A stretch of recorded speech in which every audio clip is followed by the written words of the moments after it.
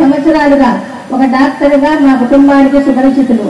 ఈ నియోజకవర్గంలో అత్యధిక మెజారిటీతో గెలిచిన వ్యక్తిగా గుర్తింపు తెచ్చుకుని తన పదవీ కాలాన్ని ఐదు సంవత్సరాలు పూర్తి చేయకుండానే మధ్యలోనే మనల్ని వదిలి వెళ్ళడం చాలా బాధాకరం విషయం.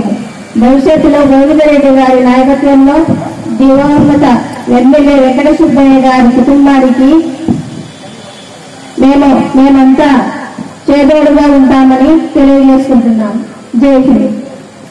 ఇరవై సంవత్సరాలుగా ఒక డాక్టర్గా మా కుటుంబానికి సుపరిచితులు ఈ నియోజకవర్గంలో అత్యధిక మెజారిటీతో గెలిచిన వ్యక్తిగా గుర్తింపు తెచ్చుకొని తన పదవీ కాలాన్ని ఐదు సంవత్సరాలు పూర్తి చేయకుండానే మధ్యలోనే మనల్ని వదిలి వెళ్ళడం చాలా బాధాకరం విషయం భవిష్యత్తులో గోవిందరెడ్డి గారి నాయకత్వంలో దివంగత ఎమ్మెల్యే వెంకట సుబ్బయ్య గారి కుటుంబానికి మేము మేమంతా చేదోడుగా ఉంటామని తెలియజేసుకుంటున్నాం. జై హింద్.